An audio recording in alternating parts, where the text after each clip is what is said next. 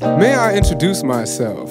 I'm MC Professor Will. I'm not here to reinvent the wheel, but with a bit of patience, we might understand a few of the causes and effects and what's the deal about poverty and economic failure when politics based on good intentions get real.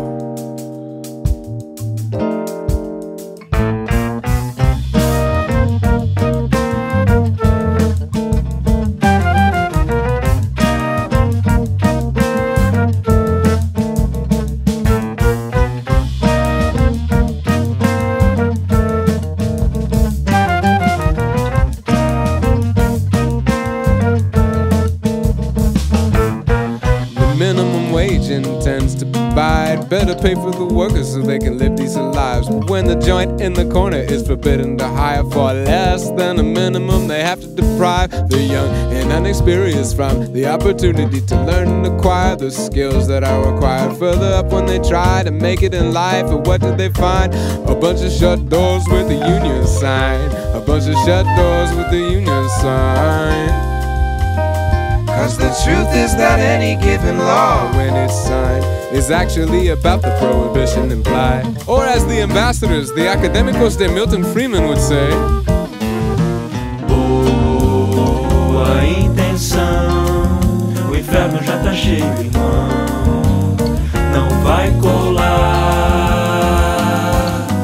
Boa intenção, o inferno já tá cheio, irmão tá cheio, irmão. Pra cima desse rasta não.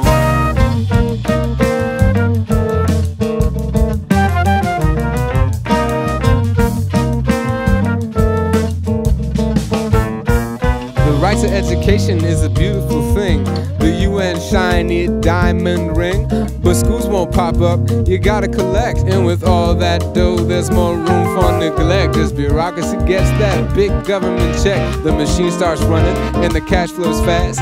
They feast and they spend it, and the teachers resent it. As schools get bigger and their finances linger, not to mention the loans for higher education guaranteed by the Fed to boost the credit expansion. Educational inflation is what you get when you try to move people like pawns in chess. Regulation kicks in, mining competition as the broke and the young struggle for tuition. But none of it matters, it's never been better. The ministers will tell you when they show the score. With the increasing numbers to make you come back for more.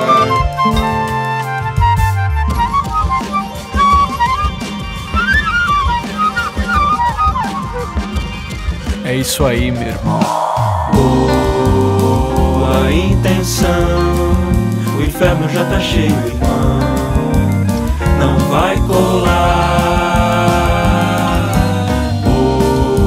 Boa intenção, o inferno já tá cheio, irmão. O inferno já tá cheio, irmão. Pra cima desse rasta não. If we wish to be compassionate with our fellow man, we must learn to engage in dispassionate analysis. In other words, thinking with our hearts rather than our brains is a surefire method to hurt those whom we wish to help. E aí, vacilão, tu acha que tu vai ficar organizando o mundo de cima para baixo? Mas tu não vai não.